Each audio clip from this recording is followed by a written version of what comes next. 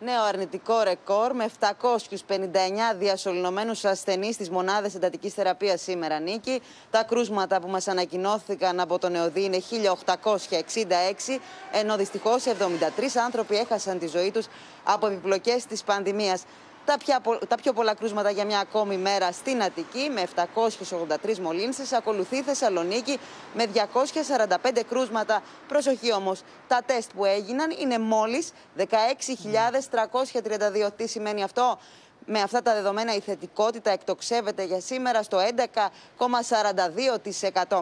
Τώρα πρέπει να σου πω ότι εδώ στην ενημέρωση των υγειονομικών συντακτών η κυρία Θεοδωρίδου μας συνέστησε για μια ακόμη φορά ψυχραιμία όσον αφορά το εμβόλιο της Άστρα Ζένεκα. Χαρακτηριστικά μας είπε ότι στη χώρα μας έχουν χορηγηθεί 346.000 δόσεις του εμβολίου της Άστρα Ζένεκα και έχει καταγραφεί ένα περιστατικό θρομποεμβόληση που εξετάζεται ως πιθανή συσχέτιση να έχει με τον εμβολιασμό. Μάλιστα, είναι ένα από τα 44 περιστατικά που εξετάζουν αυτή την ώρα οι επιστήμονες του Ευρωπαϊκού Οργανισμού Φαρμάκων. Πρόκειται για την 60χρονη γυναίκα, την οποία είχαμε αναφέρει στο δελτίο μας, που κατέληξε τις προηγούμενες μέρες στο νοσοκομείο γεννηματάς. Η γυναίκα είχε εμφανίσει συμπτώματα θρομποεμβόληση περίπου 10 μέρες μετά τον εμβολιασμό της με Αστραζένεκα. Ψυχραιμία λοιπόν.